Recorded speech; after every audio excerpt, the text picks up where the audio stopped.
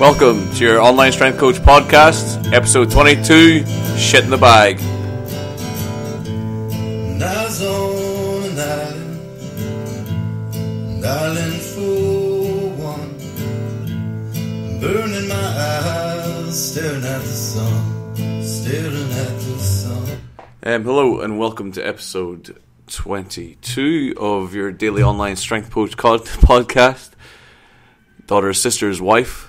Um, I have been thinking about changing the name of the podcast. So the 30 people or th- the five people listen to this six times in a row. Um, would like some input on that. I was thinking of just call of calling it um, online strength coach podcast, something like that. I don't know. Um, still going to keep the daily nature as much as possible.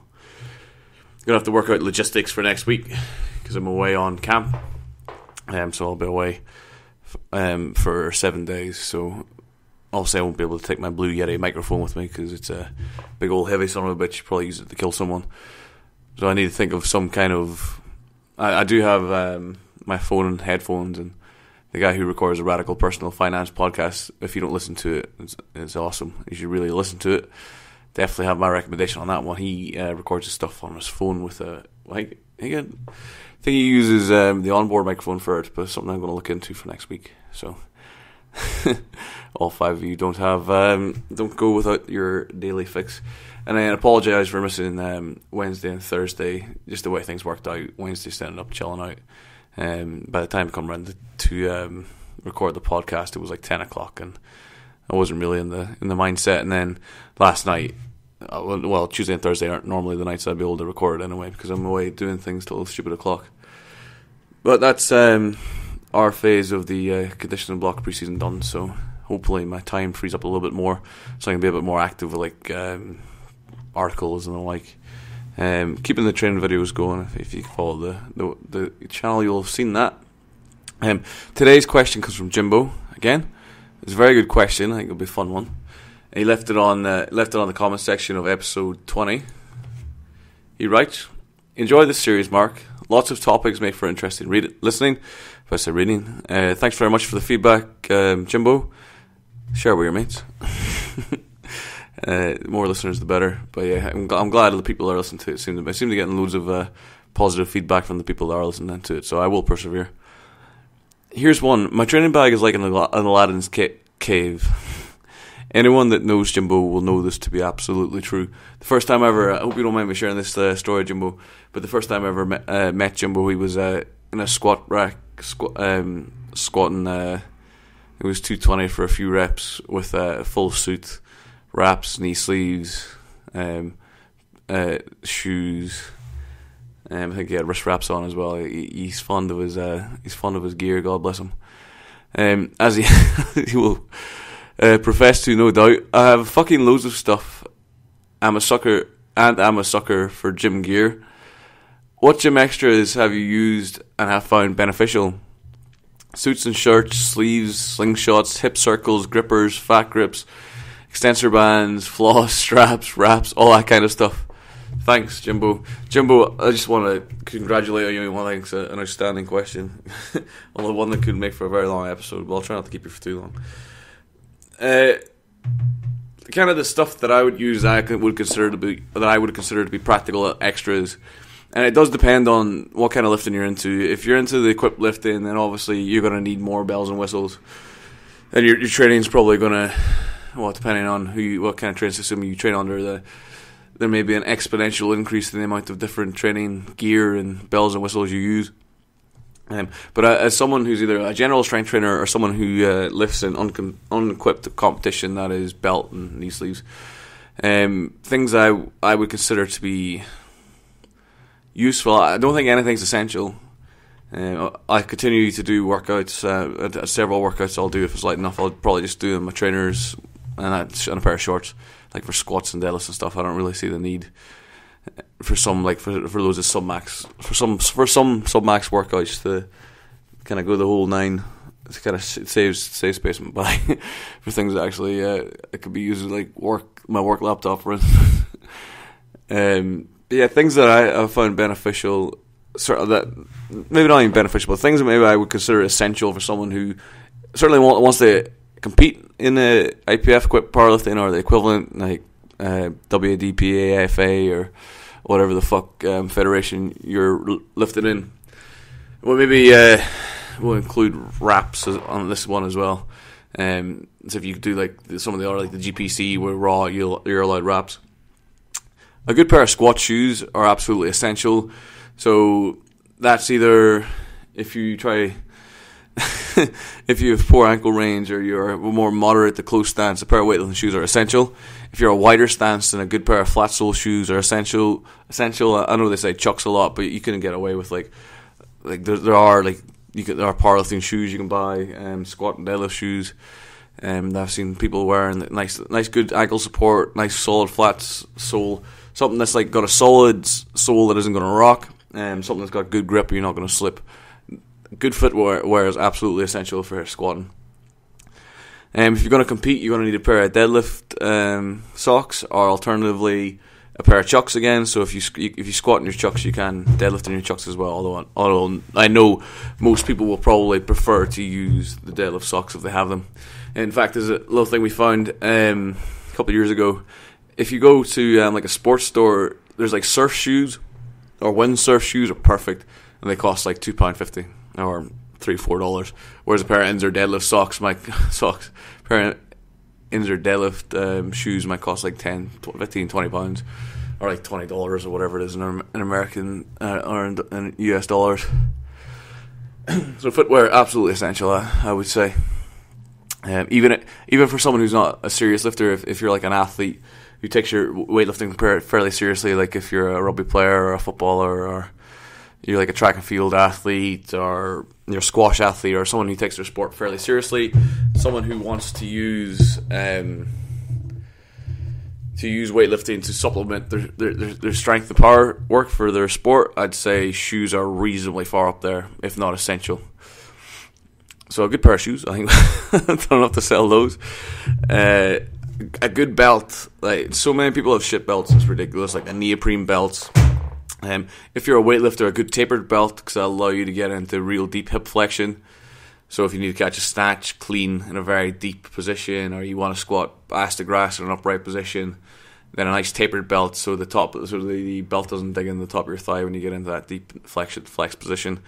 As a powerlifter, um, or a general strength, or, or a strength athlete, or someone who likes to lift reasonably heavy, um, powerlifter, strongman, rugby player, bodybuilder, a good 10 millimeter, 13 millimeter, either buckle or lever belt. That's number two on the list. Shoes first, then a good belt. Um, find the style you like.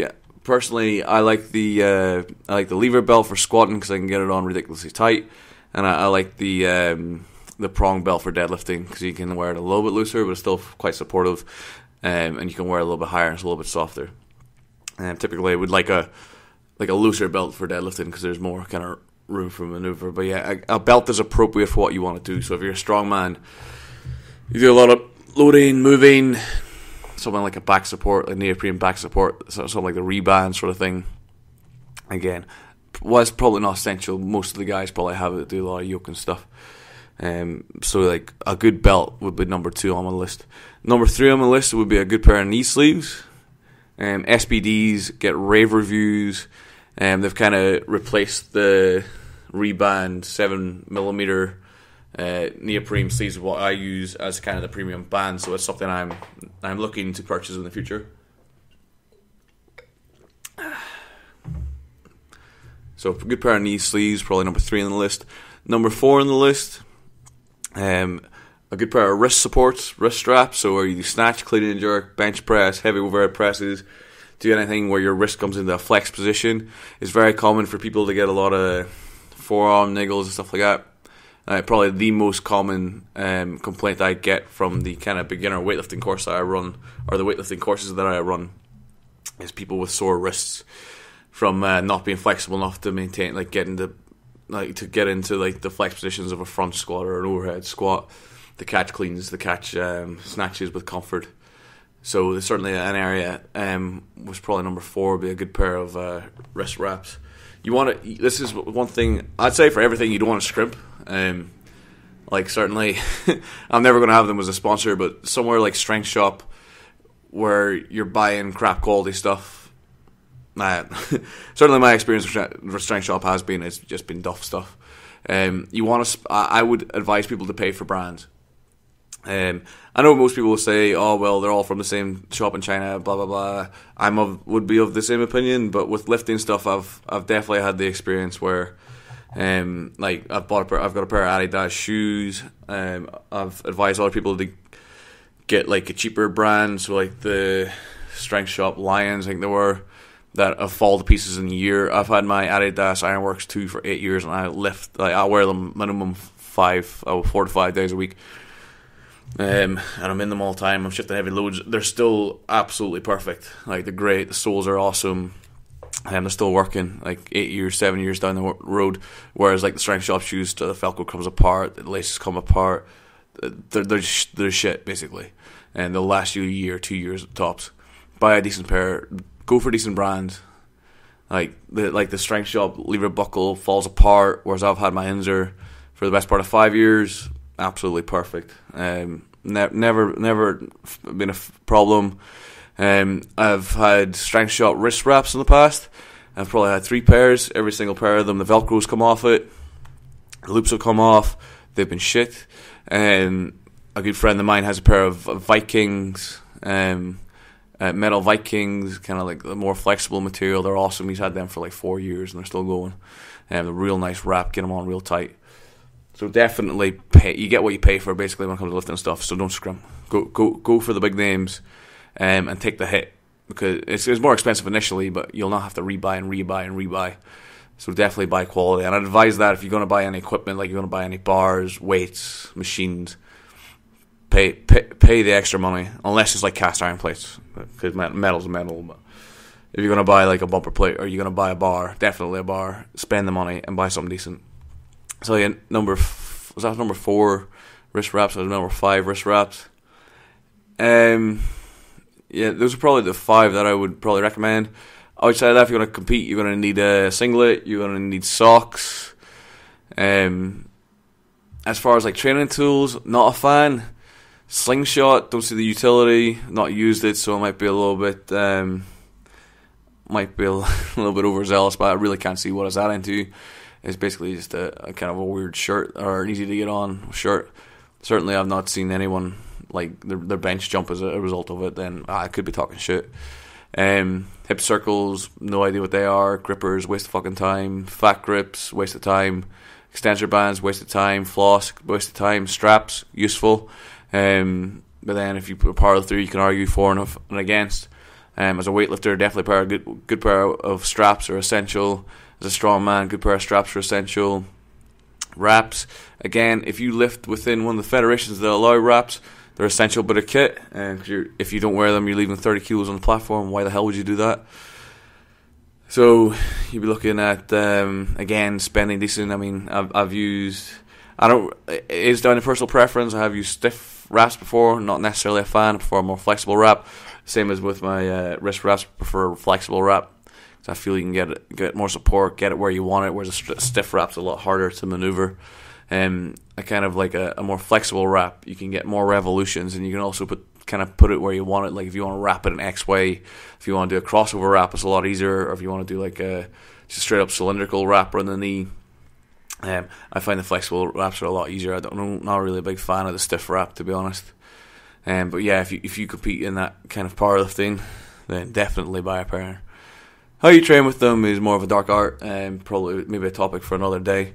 Um, maybe a topic that someone as a equip lifter might be able to answer better. But I have a bit of experience with it, not a huge amount. Um, did have done two? I think I've done three comps and wraps. Um, so yeah, I have a bit of experience, not not a huge amount.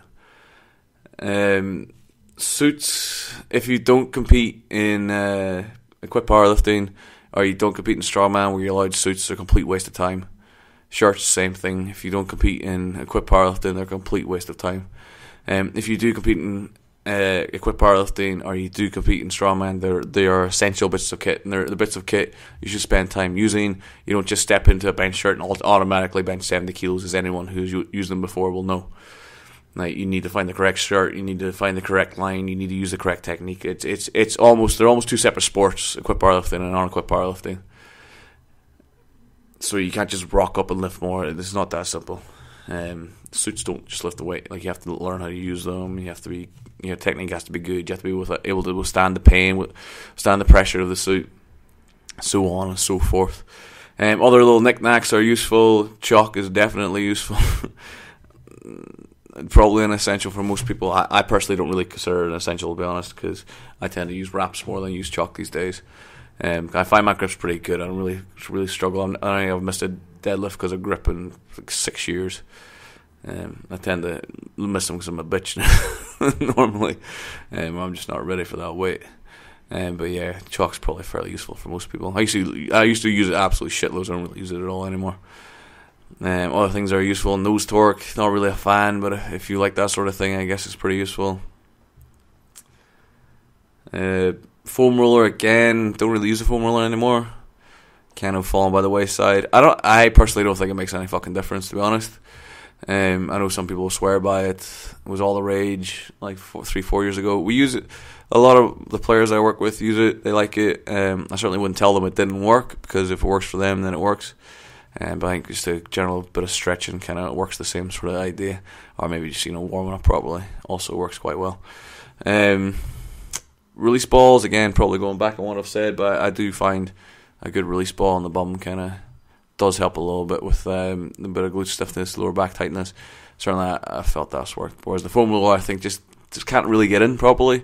Because uh, I've said before, it's not like I don't believe in my myofascial work, because um, I have said in previous um, episodes that I do really rate massage. It's more the um, more the generalness of the ruler, the the, the ruler's inability to kind of get deep or get or get more targeted kind of release work done. So release, work does work in my opinion. Whereas the foam roller is just a bit of a general general bit of kit that doesn't really do doesn't really do much. Um, I think I've spoken enough towards kit to be honest. Um, there are little bits and pieces, but they're all gimmicks to be honest. Barbell, weights, dumbbells, and a good program are all you really need to get strong.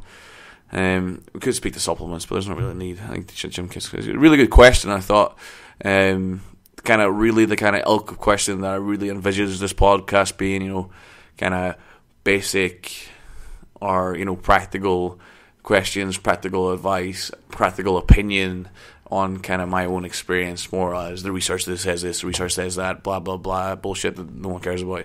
You know, just straight up, um, just experiential advice. uh, or you know actionable advice, maybe or actionable opinion where you can go, well, this guy says this, okay, I'll give that a go.